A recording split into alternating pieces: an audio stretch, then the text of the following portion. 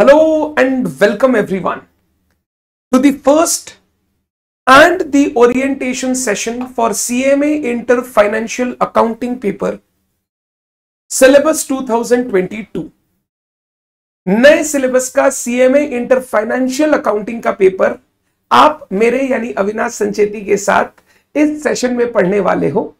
आज के इस लेक्चर में जो हमारा फ़र्स्ट लेक्चर है हमारे पूरे कोर्स का, इसमें हम डिस्कस करेंगे financial accounting as a subject financial accounting CMA intermediate में सिलेबस फाइनेंशियल अकाउंटिंग का पेपर पैटर्न एंड किस तरीके से हम इस पेपर को अप्रोच करेंगे जब हम सीएमए इंटर की तैयारी कर रहे होंगे? तो आज के इस सेशन में आप फाइनेंशियल अकाउंटिंग जो कि आपका सीएमए इंटरमीडिएट का पेपर सिक्स है उसके बारे में बहुत सारी बातें सीखने वाले हैं, समझने वाले हैं तो अपनी कुर्सी की पेटी बाँध लें और अच्छी तरीके से इस लेक्चर को देखें। ये जो मैं लेक्चर आपको आज, ये फ़र्स्ट वीडियो आप देख रहे हो इस लेक्चर में मैं बहुत सारी इंपॉर्टेंट बातें बोलूँगा। इस लेक्चर को ज़रूर सेव करके रखें जब आप अपने सीएमए की प्रिपरेशन कर रहे हो इंटर लेवल की प्रिपरेशन कर रहे हो। एंड समय समय पर जब भी आपको ऐसा लगे आप डी रेल हो रहे हो अपनी प्रिपरेशन में, इस वीडियो को एज अ गाइडेंस आप यूज़ करें और अच्छी तरीके से वीडियो को देखकर अपनी प्रॉब्लम्स को सॉल्व करने की कोशिश करें। सीएमए इंटरमीडिएट लेवल पे अगर मैं बात करूँ टोटल एट सब्जेक्ट्स है। पेपर नंबर फाइव से लेकर paper number twelve paper one two four foundation level पे, पेपर नंबर फाइव से लेकर paper number twelve CMA intermediate level में which are divided into two groups paper five six seven eight group one paper nine ten eleven twelve group two जिसमें से हमारा paper of financial accounting का इस paper number six यानी second paper of group one second paper of group one paper five है आपका law का paper paper six है आपका फाइनेंशियल अकाउंटिंग का पेपर तो ये हमारा फाइनेंशियल अकाउंटिंग का पेपर ग्रुप वन का सेकंड पेपर है एंड एक बहुत बहुत important paper and scoring paper अगर आप अपने ग्रुप वन या टोटल सीएमए इंटरमीडिएट को क्लियर करना चाहते हो तो। ये एक ऐसा पेपर है जिसमें है तो पास मार्क्स 40 बट अगर आप चाहो तो इजीली 60 मार्क्स इस पेपर में स्कोर कर सकते हो without any hassle without any difficulty just by following the small small steps जो मैं आपको क्लासेस में आपको बताते रहूँगा। सबसे पहले, ये हमारा ऐसे तो सेकंड पेपर है ग्रुप वन का बट इसका जो एग्जामिनेशन होता है, वो थर्ड डे पर होता है। CMA inter examination institute conduct करता है जून के महीने में और दिसंबर के महीने में, साल में दो बार। जनरली जून टेंथ और दिसंबर टेंथ से ये शुरू होते हैं। आप जिस भी टर्म में एग्ज़ाम दे रहे हो, आप उस टर्म के लिए प्रिपेयर कर रहे हो। एंड आपका जो 10 तारीख का पेपर होता है, वो होता है paper number five group one का फ़र्स्ट पेपर फिर आपका नौ ग्यारह तारीख को जो पेपर होगा, वो पेपर नंबर होगा नाइन ग्रुप टू का फ़र्स्ट पेपर फिर आपका पेपर होता है paper number six financial accounting यानी तीसरा एग्ज़ाम होता है जब आप अपने एग्ज़ाम देते हो सीएमए इंटरमीडिएट लेवल के। अगर कोई बच्चा ग्रुप वाइज ग्रुप एग्ज़ाम दे रहा है, सिर्फ़ फ़र्स्ट ग्रुप का एग्ज़ाम दे रहा है तो फ़र्स्ट पेपर लॉ फिर एक दिन छुट्टी, फिर फाइनेंशियल अकाउंटिंग अगर कोई बच्चा दोनों ग्रुप अटेम्प्ट कर रहा है तो first day law second day OMSM जो ग्रुप टू का फ़र्स्ट पेपर है एंड थर्ड डे आपका आता है फाइनेंशियल अकाउंटिंग का पेपर पेपर नंबर सिक्स तो ये बेसिक आइडिया थी फाइनेंशियल अकाउंटिंग के पेपर को लेकर, ये आपके ग्रुप वन में सेकंड पेपर है। बहुत स्कोरिंग पेपर है पास मार्क्स तो 40 है बट आप इजीली 60 यानी एग्जामेशन स्कोर कर सकते हो इस पेपर में। अगर आप अच्छी तरीके से इस पेपर को मेरे साथ कवर करते हो तो। अब, सबसे पहले हम लोग जो डीप डाउन जाएँगे, जो समझेंगे, वो है फाइनेंशियल अकाउंटिंग पेपर का सिलेबस फाइनेंशियल अकाउंटिंग के पेपर के सिलेबस को मैं टोटल तीन पार्ट्स में डिवाइड कर सकता हूँ। पहला पार्ट वो चैप्टर्स जो ऑलरेडी हमने फाउंडेशन लेवल पे पढ़ लिए हैं। सीएमए इंस्टीट्यूट फाउंडेशन में पढ़े हुए टॉपिक्स को इंटर लेवल में वापस री इंट्रोड्यूस करता है। With a very good weightage in the new syllabus ये आपसे उन्हीं चैप्टर को वापस एक बार रिवाइज करने के लिए, पढ़ने के लिए बोलता है सो so दैट आप अपनी फाउंडेशन की अंडरस्टैंडिंग को और कंक्रीट कर सको आगे के लिए। सेकेंड पार्ट हमारा आता है इंटर लेवल चैप्टर्स जो नए इंट्रोडक्शन आपके इंटर लेवल पर होते हैं, जो आपने फाउंडेशन लेवल पर नहीं पढ़े। एंड थर्ड पार्ट आता है अकाउंटिंग स्टैंडर्ड्स अकाउंटिंग स्टैंडर्ड्स पहले मैं वेटेज की बात नहीं करूँगा, पहले मैं सिंपल बात करूँगा कि भैया हर पार्ट में आपके कौन कौन से चैप्टर्स है जो आपको कवर करने हैं throughout your syllabus financial accounting का पेपर एक बड़ा पेपर है. The number of topics are very high the time to be devoted to complete this topic is also considerably bit high as compare to the other subject of group one and group two तो ये paper थोड़ा सा lengthy paper है, थोड़ा बड़ा paper है discussion बहुत करना पड़ता है, बहुत क्वेश्चन बनाने पड़ते हैं, तब जाके हमारा सिलेबस खत्म होता है। तो इस पेपर को बहुत स्मार्टली अगर कोई बच्चा पढ़ेगा, तभी वो बच्चा सही टाइम में सही चीज़ करके अच्छे से अच्छा मार्क्स स्कोर कर पाएगा। अगर हम लोग बहुत ज़्यादा डिप डाउन जाने की कोशिश करेंगे तो भी बहुत एक्स्ट्रा टाइम डिवोट कर देंगे। जो हो सकता है, आपके दूसरे पेपर पर प्रेशर क्रिएट करें। अगर हम बहुत कम पढ़ के जाएँगे तो हम 60 70 75 स्कोर नहीं कर पाएँगे, जो इजीली स्कोर किया जा सकता है। इसीलिए एक बैलेंस रखना पड़ता है जब हम इस पेपर को पढ़ते हैं। पहले हम सिलेबस समझते हैं समझते हैं फाइनेंशियल अकाउंटिंग का सिलेबस क्या है। अगर मैं फाउंडेशन रिलेटेड चैप्टर्स में देखूँ फाउंडेशन रिलेटेड टॉपिक्स में देखूँ, हमें सबसे पहले कवर करना है बेसिक्स जो एकदम बेसिक्स ऑफ़ अकाउंटिंग है journal ledger trial balance cash book depreciation के कॉन्सेप्ट्स बैड डेट्स के कॉन्सेप्ट रेक्टिफिकेशन के कॉन्सेप्ट जो एकदम बेसिक कैपिटल रेवेन्यू ट्रांजैक्शन के कॉन्सेप्ट एकदम बेसिक बेसिक जो कॉन्सेप्ट होते हैं ना accounting concept accounting convention asset liability income expenses जो एकदम बेसिक बेसिक बेसिक कॉन्सेप्ट होते हैं, सबसे पहले हमें वो कवर करना पड़ता है। ये टॉपिक्स जो है, ये फ़र्स्ट वाला जो टॉपिक्स है एक बड़ा question five to seven marks का और बहुत सारे ऑब्जेक्टिव क्वेश्चन आपको इस टॉपिक से देखने मिलते हैं। तो ऐसा नहीं है इंपॉर्टेंट नहीं है बट हाँ हमने ऑलरेडी फाउंडेशन में पढ़ा रखा है, इसको पढ़ रखा है। इसको अगर हम एक रिवीजन के तरीके से पढ़े, एक अच्छी तरीके से टाइम लेकर थोड़े बहुत क्वेश्चन बनाकर करें तो इसको बार बार रिवीजन करने की ज़रूरत नहीं पड़ेगी। एक बार पढ़ लिया दैट्स इट क्योंकि ऑलरेडी आपने फाउंडेशन में बहुत मेहनत कर रखी है। Next topic bills bank reconciliation statement या BRS third topic bills of exchange fourth topic depreciation fifth topic consignment six topic joint venture final accounts एंटीओ rectification sir foundation के सब्जेक्ट में छोड़ा क्या आपने? आपने तो सबका सब कुछ उठा के रख दिया। छोड़ा ना एक तो cost accounting introduction to cost accounting sir वो भी कहाँ छोड़ने वाले हैं? कॉस्ट अकाउंटिंग के पेपर में दे देंगे ग्रुप वन में। तो जो आपने फाउंडेशन लेवल में पढ़ाई की थी ना, पूरा का पूरा उठाकर इंटर लेवल में उन चीज़ों को वापस री इंट्रोड्यूस किया गया है सो so दैट एक बार वापस उन चीज़ों को रिवाइज करके आप अपनी जर्नी में आगे बढ़ो, आप अच्छी तरीके से पूरे अकाउंट्स पेपर को समझ पाओ एंड अकाउंट्स आपका स्ट्रांग हो पाए, एक स्ट्रांग पॉइंट बन पाए। ये जो फ़र्स्ट पार्ट है ना फ़र्स्ट पार्ट इससे आपको एग्ज़ाम में 25 मार्क्स तक के क्वेश्चन देखने मिलेंगे। मैं बात कर रहा हूँ apart from multiple choice questions का वेटेज ये मैं बात कर रहा हूँ वो सब्जेक्टिव क्वेश्चंस जो हमें पूरे सॉल्व करने पड़ते हैं या थ्योरी वगैरह जो हमें लिखनी पड़ती है 25 मार्क्स का वो आएगा। ऑब्जेक्टिव वगैरह में तो आठ दस मार्क्स जो आएगा वो अलग से आएगा। पच्चीस मार्क का पोर्शन है, ये पूरा का पूरा जो फाउंडेशन लेवल पे आपने तैयार कर रखा है। सर, अगर हम आपसे फाउंडेशन पढ़ रखे हैं क्या जो आपने फाउंडेशन में हमें पढ़ाया था, आप सीए फाउंडेशन के साथ हमें पढ़ाते थे, उस समय तो सर लगता था, सर, इतना क्यों पढ़ा रहे हमारा तो मल्टीपल चॉइस क्वेश्चन है। बट सर, अब समझ में आ रहे हैं, आप उस समय क्या बोलते थे? आप यही बोलना चाहते थे, बेटा, घूमकर वापस आएगा। कर्मा ऐसी चीज़ है जो अच्छे करने चाहिए, क्योंकि वो घूमकर वापस आते हैं। वैसे ही फाउंडेशन के टॉपिक्स वापस इंटर में आएँगे, क्योंकि हमने फाउंडेशन में रियल में बहुत मेहनत कर रखा है। इंटर लेवल पे आपको बहुत हेल्प मिलेगा जब आप इन टॉपिक्स को मेरे साथ वापस पढ़ोगे। हाँ हम लोग पढ़ेंगे एकदम शुरू से। क्योंकि बहुत सारे स्टूडेंट ऐसे हैं जो फाउंडेशन लेवल से ना होकर हो सकता है डायरेक्ट एंट्री से आए, या जिन्होंने फाउंडेशन लेवल पर हो सकता है, बिना ट्यूशन वगैरह के प्रिपरेशन की हो तो उतना इनडेप्थ उन्होंने नहीं देखा। उन्होंने अपनी क्लास इलेवन ट्वेल्व के नॉलेज से ही फाउंडेशन को निकाला हो। मैं चाहूँगा एक बार आप इन टॉपिक्स को भी अच्छी तरीके से मेरे साथ डिस्कस करें सो so दैट आपके ये टॉपिक्स इतने स्ट्रेंथन हो जाए कि ना आप इसमें मार्क्स को और ना आगे आपको कभी इन टॉपिक्स को वापस उठाकर पढ़ना पड़े। सेकेंड लेवल पर अगर हम आए तो इंटर लेवल के चैप्टर्स ये नए चैप्टर्स है जो आप इंटर लेवल में पहली बार देखोगे फाउंडेशन में आपने नहीं देखा था। अगर मैं यहाँ बात करूँ तो आपके पास यहाँ टोटल छह टॉपिक्स है।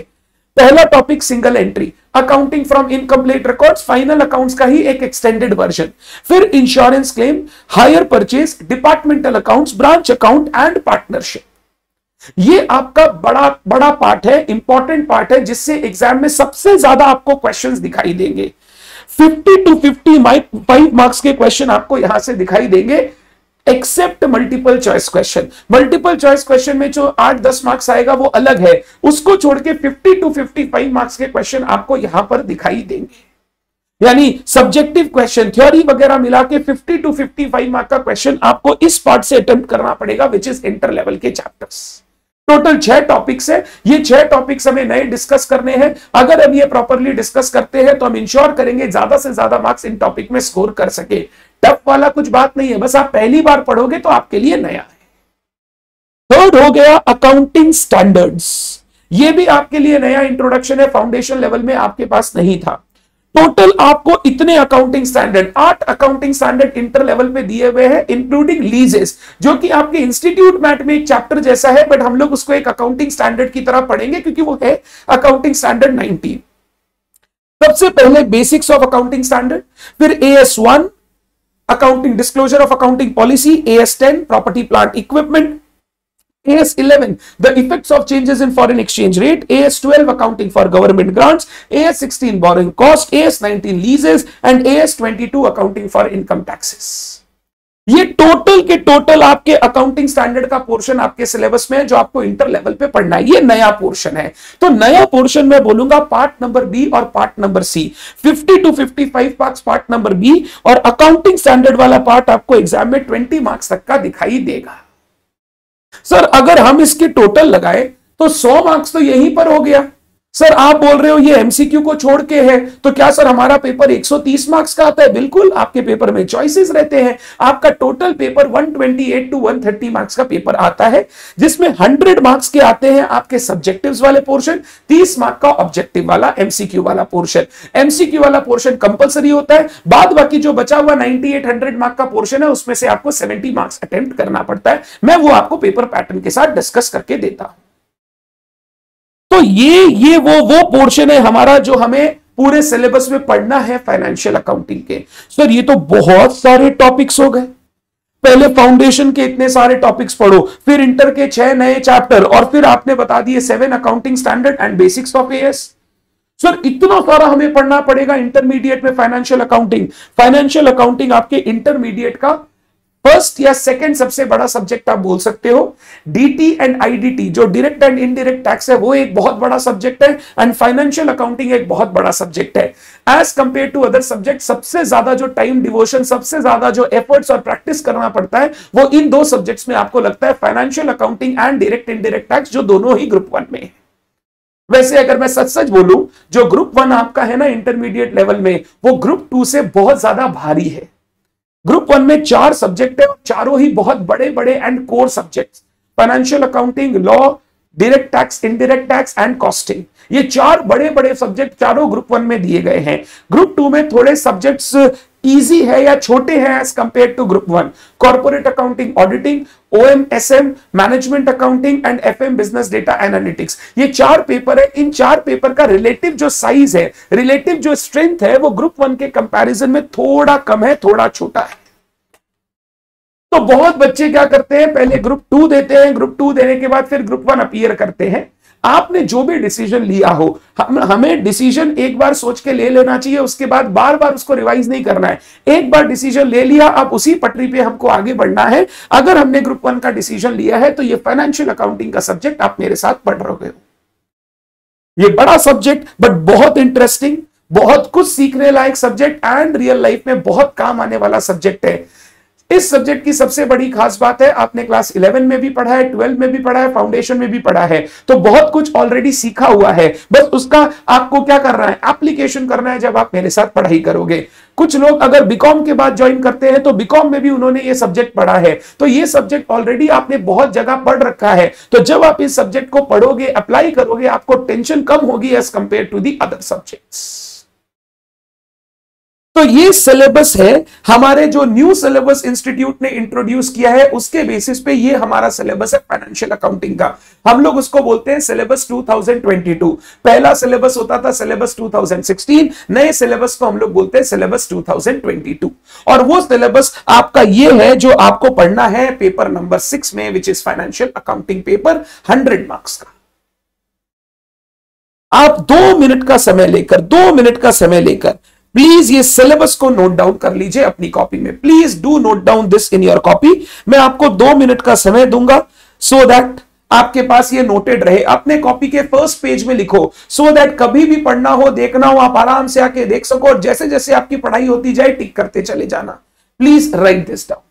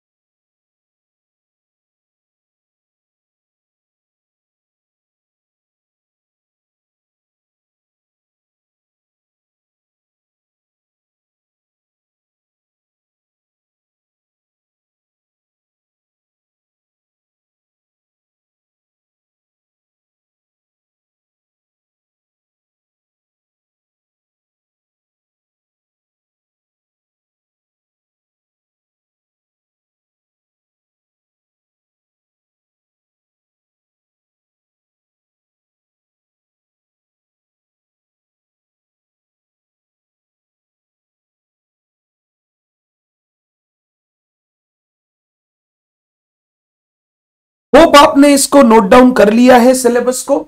अगर आपको थोड़ा सा टाइम चाहिए just just pause the video and इसको अच्छे से नोट डाउन करो because this is really important बात बाकी, मैंने सारी बात कर ली है। हाँ डीप में हम लोग जब एक एक चैप्टर के अंदर जाएँगे will be discussing everything just एक आउटलुक की हमें क्या पढ़ना है पूरे के पूरे सिलेबस में।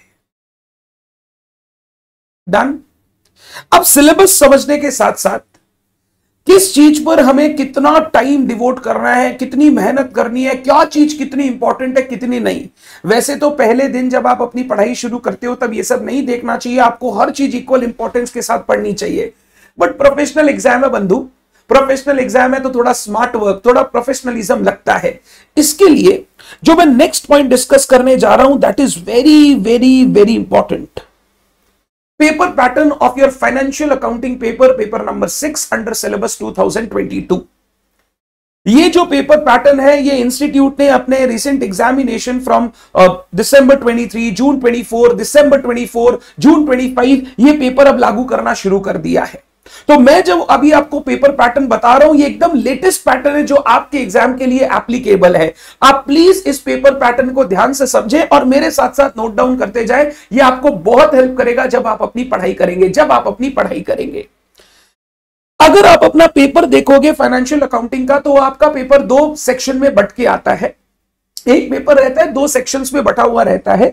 एक होता है सेक्शन ए एक होता है सेक्शन बी सेक्शन ए जो होता है, उसमें होता है क्वेश्चन नंबर वन सिर्फ़ एक क्वेश्चन होता है question number one section number B में you have seven question question number two to question number eight seven question you have question one जो होता है, वो मल्टीपल चॉइस क्वेश्चन होते हैं मल्टीपल चॉइस क्वेश्चन पंद्रह क्वेश्चन इंस्टीट्यूट आपको देगा, दो मार्क्स हर क्वेश्चन के total thirty marks thirty marks का आपका सेक्शन नंबर ए यानी क्वेश्चन वन रहेगा. और ये पूरा का पूरा, ये पूरा का पूरा सेक्शन कंपलसरी है.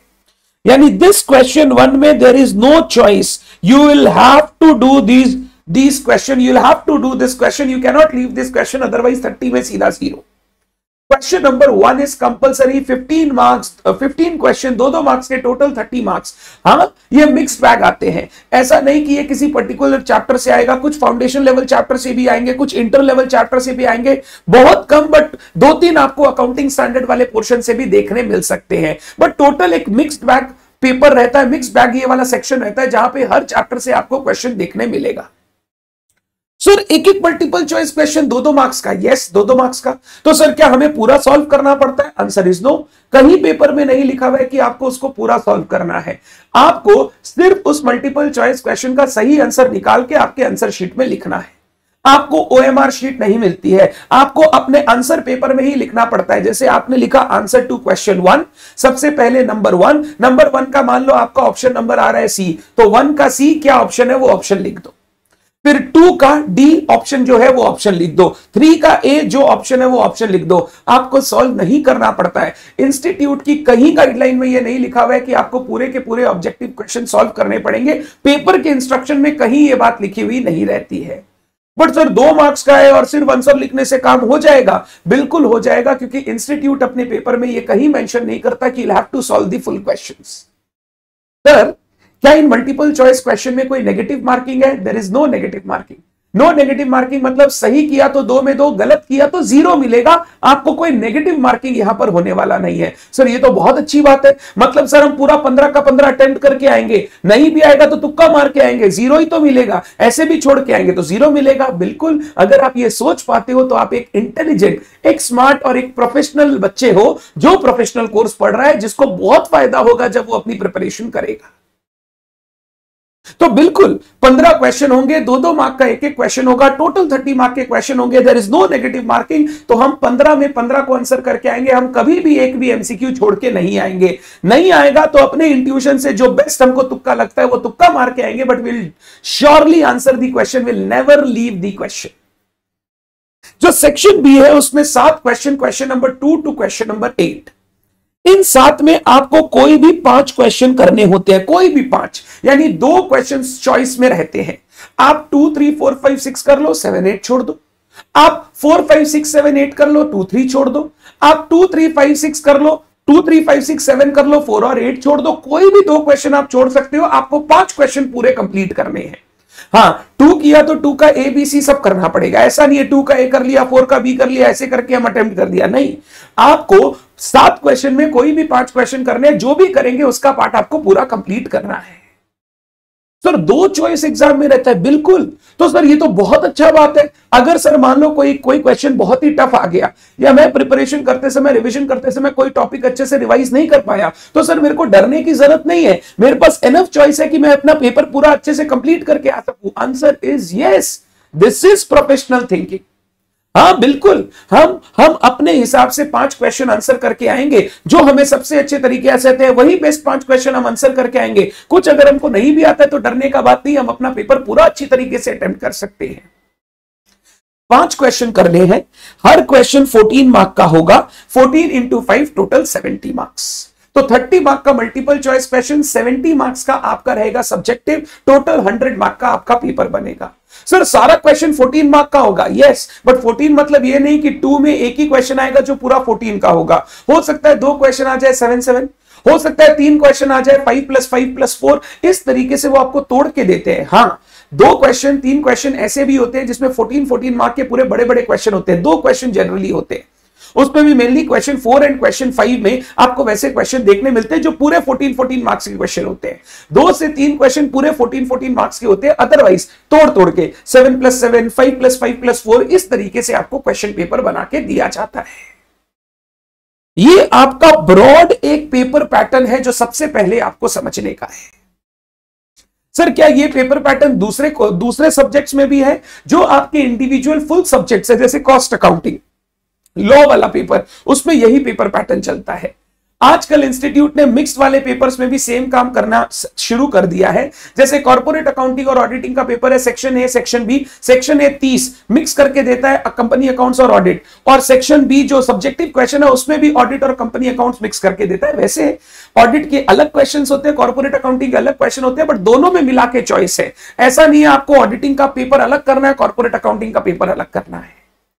टोटल सात क्वेश्चन होंगे। सात में कोई भी आपको पाँच करने हैं उसमें कॉर्पोरेट अकाउंटिंग ज़्यादा कर लो ऑडिट कम कर लो ऑडिट ज़्यादा कर लो कॉर्पोरेट अकाउंटिंग कम कर लो, ये आप अपने स्ट्रेंथ के हिसाब से डिसाइड कर सकते हो। सर, ये तो बहुत अच्छी बात है। ये तो हमारे फेवर की बात है, बिल्कुल आपके फेवर की बात है। इसीलिए आप बहुत अच्छा स्कोर कर सकते हो अगर आप थोड़ा अच्छे से प्रिपेयर करके जाओ एग्ज़ाम में। अब ये पेपर तो हो गया ब्रॉड ओवरव्यू अब पेपर को थोड़ा सा मैं डिकोड करता हूँ। मेरी आदत है, मैं हमेशा ये डिकोडिंग करता हूँ बिकॉज़ मेरे को लगता है कि प्रोफेशनल एग्जामिनेशन में ऐसे ही बच्चे के ऊपर बहुत प्रेशर है। अगर वो थोड़ा सा अपना पेपर पैटर्न अच्छे से समझ में जाए, समझ के जाए, और जो टेंटेटिव पेपर पैटर्न है इंस्टीट्यूट अगर उसी के हिसाब से बनाए तो बहुत फ़ायदा होता है बच्चे को जब वो बच्चा एग्ज़ाम लिखता है। ज़रूरी नहीं है एकदम छप के ही ऐसा आएगा। ये एक टेंटेटिव पैटर्न है मतलब 80 परसेंट प्रोबेबिलिटी के साथ सेम टाइप के क्वेश्चंस आपको दिखाई देंगे सेम तरीके से। बट 20 परसेंट थोड़े उधर उधर हो सकते हैं, उसमें अपने को डरने का नहीं है, वो विल मैनेज हम लोग इतने बड़े हो गए इंटरमीडिएट लेवल में आ गए कि वो हम मैनेज करें। क्वेश्चन नंबर टू जो होता है ना, वो आपके फाउंडेशन वाले पोर्शन से होता है। जो फाउंडेशन के चैप्टर से, उनसे क्वेश्चन नंबर टू पूछा जाता है। पूरा 14 मार्क्स का दो क्वेश्चन रहते हैं सेवन प्लस सेवन पूरा 14 मार्क्स फाउंडेशन लेवल पोर्शन से होता है। क्वेश्चन थ्री में दो पार्ट होते हैं। एक होता है फाउंडेशन लेवल चैप्टर से, एक होता है इंटर लेवल चैप्टर से। तो अगर फाउंडेशन लेवल चैप्टर देखो तो 14 plus seven twenty one marks यहाँ हो गया। एमसीक्यूज तो अलग है ही है। 14 plus seven twenty one straightforward दिखाई दे रहा है। और क्वेश्चन नंबर एट में भी एक आध क्वेश्चन आ जाता है जो फाउंडेशन पोर्शन का होता है। तो वहाँ पे पाँच मार्क्स और कवर होता है तो twenty five twenty six mark आपको फाउंडेशन लेवल पे दिखता है। ये question three B inter level वाले चैप्टर से आता है, या तो अकाउंटिंग स्टैंडर्ड से आ सकता है एएस नाइनटीन या फिर हायर परचेज वगैरह से आ सकता है, जो आपका इंटर लेवल का चैप्टर है। क्वेश्चन नंबर फोर वापस इंटर लेवल के चैप्टर से आएगा। सिंगल एंट्री वगैरह पार्टनरशिप वगैरह, वो सबसे क्वेश्चन दिखाई देगा। क्वेश्चन नंबर फाइव वापस inter level chapter question number six वापस इंटर लेवल चैप्टर तो अगर इंटर लेवल चैप्टर देखोगे तो 14 14 14 42 प्लस 7 49 इसमें एक छोटी सी बात बोलूँगा। ये जो सिंगल एंट्री वाला चैप्टर है कभी कभी सिंगल एंट्री की जगह वो एनटीओ भी बैठा सकता है फाइनल अकाउंट्स भी बैठा सकता है। बट सर वो तो फाउंडेशन लेवल का है ना, कम आते हैं बट कोई कोई एग्ज़ाम में वो फाइनल अकाउंट्स और एनटीओ का क्वेश्चन दे देता है एज अगेंस्ट सिंगल एंट्री या सिंगल एंट्री नहीं देता है। तो हो सकता है फिर वहाँ पे आपके फाउंडेशन लेवल का चैप्टर्स का वेटेज बढ़ जाए इंटर लेवल का कम हो जाए। बट फाइनल अकाउंट्स और एनटीओ फुल प्लेजेड जब क्वेश्चन आते हैं तो मैं बोलूँगा ये इंटर लेवल का मसाला है, क्योंकि फाउंडेशन में तो आपने टिक्की टिक्की किया था। तो उसको भी आप एक तरीके से इंटर लेवल का ही समझ सकते हो, क्योंकि बड़े क्वेश्चन सॉल्व करने की आदत आपको कम है, आपका एग्ज़ाम पैटर्न एमसीक्यू था, इसीलिए आपने उनको ज़्यादा सॉल्व नहीं किया। तो वो इंटर लेवल पे आप पहली बार बड़े बड़े क्वेश्चन अच्छे से सॉल्व करोगे। तो ये 42 प्लस सेवन फोर्टी तो इंटर लेवल के चैप्टर से आपको ऐसे ही दिखाई दे रहा है। मैंने बोला 50 टू 55 मार्क्स का आता है तो 49 मार्क्स तो हमको ऐसे ही दिखाई दे रहा है। क्वेश्चन नंबर सेवन पूरा का पूरा अकाउंटिंग स्टैंडर्ड के सेक्शन से आता है फोर्टीन मार्क्स अकाउंटिंग स्टैंडर्ड जो लास्ट सेक्शन था। Question number eight mix bag रहता है। एक क्वेश्चन अकाउंटिंग स्टैंडर्ड का रहता है पाँच मार्क्स का। एक क्वेश्चन थ्योरी दे देता है, वो इंटर फाउंडेशन कोई भी चैप्टर से दे सकता है। एक प्रैक्टिकल देता है इंटर फाउंडेशन कोई भी चैप्टर से दे सकता है। एक मिक्स बैग क्वेश्चन आता है, जिसमें तीनों टॉपिक्स आपको दिखेंगे। एएस भी दिखेगा फाउंडेशन भी दिखेगा इंटर भी दिखेगा। इस तरीके से आपका पूरा का पूरा जो पेपर है ना, इंस्टीट्यूट बना रहा है। अंडर सिलेबस 2022 जो नया सिलेबस जो एग्जामिनेशन जून 24 दिसंबर 24 जून 25 में इंस्टीट्यूशन इंस्टीट्यूट आईसीएमएआई ले रहा है। आप चाहो तो ये वाला लिख सकते हो। वैसे जब आप मेरे साथ पढ़ाई करोगे, हम लोग पास्ट एग्ज़ाम क्वेश्चंस एमटीपीज वगैरह देखेंगे, ये सब चीज़ें एकदम आपको लर्न हो जाएगा। आपको अलग से याद रखने का, लिखने का ज़रूरत नहीं है। मेरे लिए पेपर पैटर्न में अभी आपके लिए ये इंपॉर्टेंट है सेक्शन ए सेक्शन बी ये आपको पता होना चाहिए।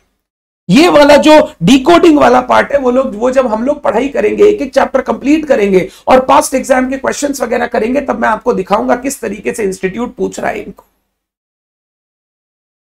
तो I hope paper pattern of financial accounting subject एकदम आपको वर्ड टू वर्ड जो मैंने बोला वो सारी बात क्लियर है।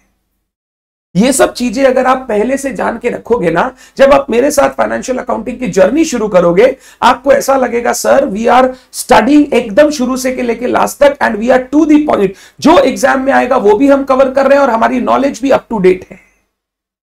This is very important making a balance between knowledge and exam because आपको एग्ज़ाम भी क्रैक करना है और अच्छे से पढ़ के आगे भी बढ़ना है। ये पेपर पैटर्न हमारा फाइनेंशियल अकाउंटिंग सब्जेक्ट अब ये फाइनेंशियल अकाउंटिंग सब्जेक्ट को मैंने समझा दिया। ब्रीफ आइडिया दे दिया आपको सिलेबस की पेपर पैटर्न की। Last but not the least एक गाइडलाइन एक तरीका कि किस तरीके से इस पेपर को अप्रोच किया जाए जब आप अपनी पढ़ाई कर रहे हो रिविजन्स कर रहे हो, किस तरीके से इस पेपर को अप्रोच किया जाए that is very very very important ये मैं जितने भी पॉइंट्स अभी आपके साथ डिस्कस करने वाला हूँ, इनको आप पहले दिन ही अपने जहन में रखना। चाहे आप मेरे साथ लाइव पढ़ रहे हो, चाहे आप मेरे Google drive lectures pen drive lectures देख रहे हो रिकॉर्डेड लेक्चर्स देख रहे हो, अगर ये गाइडलाइंस आप फॉलो करते हो, मैं तो समझता हूँ, देखो गुरु गोविंद दो खड़े काके लागू पाए, बलिहारी गुरु आपने गोविंद दियो बताए। मतलब गुरु का स्थान ज़िंदगी में बहुत बहुत बहुत महत्व रखता है। अगर मैं आपको गाइड कर रहा हूँ किस तरीके से आपको फाइनेंशियल अकाउंटिंग का पेपर पढ़ना है, आप अगर मेरी गाइडेंस के अंदर इस पेपर को पढ़ रहे हो, आपका यह फ़र्ज़ है कि सर की बोली हुई सारी बात जैसे जैसे सर बोलेंगे, मैं वैसे वैसे वैसे वैसे फॉलो करूँगा। तब मैं आपको सिर्फ़ इंश्योर नहीं करूँगा मैं आपको अश्योर करूँगा कि आप 60, 70, 75, 80 मार्क्स स्कोर कर सके इस बड़े पेपर में भी। बट अगर आप मेरी बातों को फॉलो नहीं करते आप डोलते हो डगमग करते हो कि यार ये भी कर लू ये भी कर लू सर ने ऐसे बोला बट नहीं नहीं मैं तो ऐसे करूँगा तो इससे बहुत बार फ़ायदा प्रॉब्लम क्या होती है? आपकी जर्नी बार बार डीरेल होती रहती है। वो एक ट्रस्ट मेरे को आपको अपने बीच में डेवलप करना होगा कि अगर अविनाश सर बोल रहे हैं तो वो हंड्रेड परसेंट सही है। अगर अविनाश सर बोल रहे हैं, मैं यही करके जाऊँगा। एंड मैं देखूँगा, मैं एग्ज़ाम में स्कोर करता हूँ कि अविनाश ये अश्योर करता है कि अगर मेरी बोली हुई बात आप अच्छे से फॉलो करते हो। हाँ वो वो मीम्स की तरह नहीं। आपको पूरे एक बड़े वीडियो में दो सेकंड का पार्ट दिखाता है और ये बताता है, देखो ये कितना खराब है, देखो ये कितना अच्छा है। वो मीम्स की तरह नहीं, जो फ़र्स्ट से लास्ट तक सारी बातें बोली है, वो फॉलो करनी पड़ती है। अगर आप ये करते हो तो मैं अश्योरेंस लेता हूँ आपके रिज़ल्ट की। मैं अश्योर करता हूँ आपके बेटर रिजल्ट्स मैं अश्योर करता हूँ कि आप एक बार में इस सब्जेक्ट को पास करोगे विद एन एक्सेंशन अगर आप मेरी बताई हुई गाइडलाइंस के साथ चलोगे तो। तो प्लीज़ इन गाइडलाइंस को सुनना ही नहीं। मन में बसाना एंड फॉलो करना जब आप अपने फाइनेंशियल अकाउंटिंग पेपर को पढ़ो। मैं इस पेपर को इजी इंटरेस्टिंग एंड आपके लिए, आपको समझने लायक इस पेपर को बनाना चाहता हूँ तो मैं चाहता हूँ ये गाइडलाइंस आप फॉलो करें। सबसे पहला सब्जेक्ट का कंटेंट वास्ट है। ये मैंने आपको अभी सिलेबस दिखाया, उससे आपको पता चल गया होगा। तो शुरू दिन से ही हमें टाइम डिवोट करना है अच्छी तरीके से। टाइम डिवोट करना है अच्छी तरीके से। अगर शुरू में फ़र्स्ट डे से हम एक एक एक पटरी पर चलते चले जाएँगे तो हमें कभी भी दरकार नहीं पड़ेगी रश करने की। बच्चों के साथ कभी कभी क्या होता है मेनली जो गूगल ड्राइव पेन ड्राइव में क्लासेस करते हैं, उनके साथ क्या होता है, ये बहुत ज़रूरी है समझना। क्योंकि आजकल जब आप घर पे बैठ के पढ़ाई कर रहे हो तो यू नीड टू अंडरस्टैंड पढ़ाई का तरीका क्या होना चाहिए। बच्चे क्या करते हैं इनिशियली एक सब्जेक्ट को थोड़ा सा डिले करते चले जाते हैं प्रोकेस्टिनेट होते चला जाता है, कल कर लेंगे, कल कर लेंगे, कल कर लेंगे। फिर जब देखते हैं उनके पास टाइम कम बचा है तो दिन में दो दो तीन तीन क्लास खत्म करने की स्पीड से वो भागते हैं। एंड जिसके कारण क्लासेस तो वो अचीव कर लेते हैं, कर लेते हैं बट जब रिविजन करने बैठते हैं, उनको बहुत दिक्कत होता है। उनको वापस रिविजन वीडियो का सहारा लेना पड़ता है। मैं तो आपको यह बोलता हूँ कि पढ़ाई ऐसे करो कि रिवीजन वीडियो देखो, खराब नहीं है देखना बट तभी देखो जब आपका एग्ज़ाम का टाइम आ गया और आपको कम से कम टाइम में सब कुछ कंप्लीट करना है। अगर आप आज मेरे से क्लास कर रहे हो, आपने एक चैप्टर कंप्लीट किया डेप्रिसिएशन और डेप्रिसिएशन के क्वेश्चन बनाने से पहले बार बार आपको रिवीजन वीडियो देखना पड़ रहा है तो आपकी पढ़ाई सही नहीं चल रही है। तो प्लीज़ प्लीज़ प्लीज़ जब आप इस सब्जेक्ट को शुरू करें, आप इंश्योर करें कि आप एक कंटिन्यूअस बेसिस पे रेगुलर टाइम डिवोट कर रहे हैं and you are never rushing कभी वो 1.25x 1.5x तीन तीन लेक्चर दिन में ज़रूरत नहीं है। अगर आप रेगुलर एक लेक्चर करने की आदत डाल लो। Monday to Saturday one lecture as financial accounting में करूँगा। बड़ा सब्जेक्ट है। डीटीआईडीटी के छह lecture in a week Monday to Saturday cost के पाँच लेक्चर करोगे, चल जाएगा। लॉ के चार से पाँच लेक्चर करोगे, चल जाएगा। बट फाइनेंशियल अकाउंटिंग डीटीआईडीटी बड़ा सब्जेक्ट है।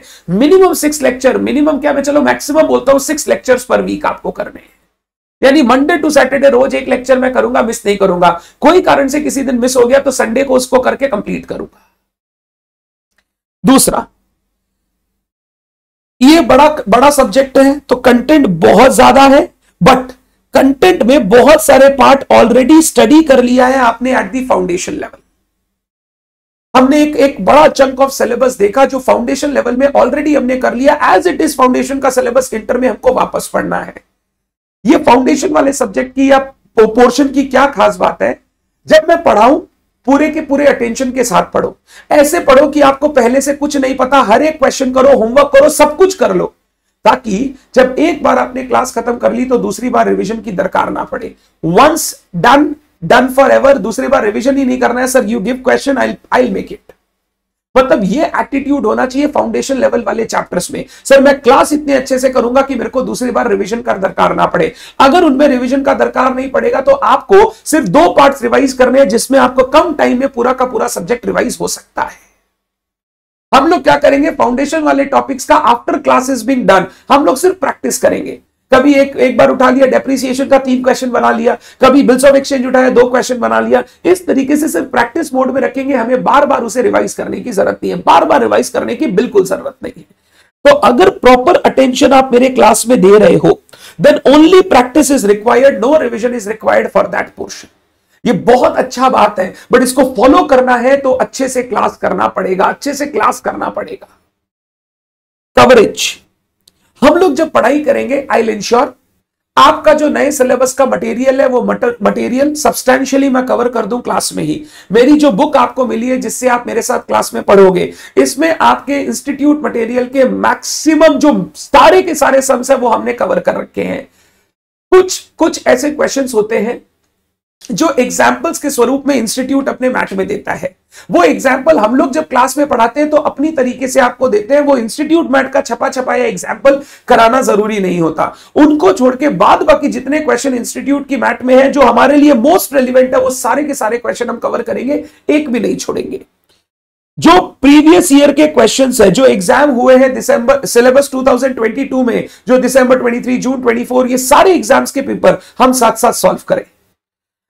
मॉडल टेस्ट पेपर या मॉक टेस्ट पेपर जिसको इंस्टीट्यूट बोलता है, जो मॉक टेस्ट पेपर सिलेबस 2022 से पर्टेनिंग है, वो भी हम साथ साथ करें। मेरी बुक में हम लोग दो बुक आपको प्रोवाइड करेंगे। आपके पास आ भी गई होगी। पहला बुक होगा फाइनेंशियल अकाउंटिंग का volume one which is main book जिससे हम लोग क्लास में पूरी पढ़ाई करेंगे, जिससे हम लोग चीज़ों को समझेंगे कॉन्सेप्ट को डेवलप करेंगे। वॉल्यूम टू होगा इंस्टीट्यूट के materials like MTPs past year questions मेरे बनाए हुए बेस्ट मल्टीपल चॉइस क्वेश्चंस वो सारे के सारे वॉल्यूम टू में हम आपको देते हैं। और वो भी मैं आपको इंश्योर करूँगा, साथ ही साथ क्लास में करा दूँ सो दैट आपको अलग से ट्रबल ना लेना पड़े करने का और आप बहुत अच्छे से इसको कंप्लीट कर सको। तो ये ये कवरेज हमको इंश्योर करना है जब हम पढ़ाई करेंगे। आप कोई भी दूसरे सब्जेक्ट की भी पढ़ाई करते हो, जैसे नवनीत सर कॉस्ट पढ़ाएँगे, वो ये पूरा कवर करेंगे। आप अगर कोई और सब्जेक्ट की भी पढ़ाई करते हो, जब भी सीएमए इंटर का प्रिपरेशन करना है ensure that this four things are covered four things are covered in entirety पूरा पूरा कवर किया गया हो। बट हाँ relevant to your syllabus sequence to study जब स्टडी करना है, जब पहली बार पढ़ोगे तो किस सीक्वेंस में पढ़ना है? जैसे मैंने बोला, गुरु के ऊपर समर्पित होना पड़ेगा, गुरु जो बोलेगा वो करना पड़ेगा। मैं जिस सीक्वेंस में आपको क्लासेस पढ़ा रहा हूँ, उसी सीक्वेंस में आपको रेगुलर क्लासेस करनी है। ये मेनली गाइडलाइन है गूगल ड्राइव पेन ड्राइव वाले बच्चों के लिए। लाइव क्लासेस में तो आपको वैसे ही करना पड़ेगा। बट जीडीपीडी वाले बच्चे कभी कभी क्या करते हैं चैप्टर वन टू थ्री छोड़ा, सीधा फोर में घुस गए। फिर फोर्थ चैप्टर में जब प्रॉब्लम आती है तो बच्चे बोलते हैं, सर, ये तो हमको समझ नहीं आ रहा है। क्यों? क्योंकि उनका शायद कोई लिंकिंग नहीं हो रहा है।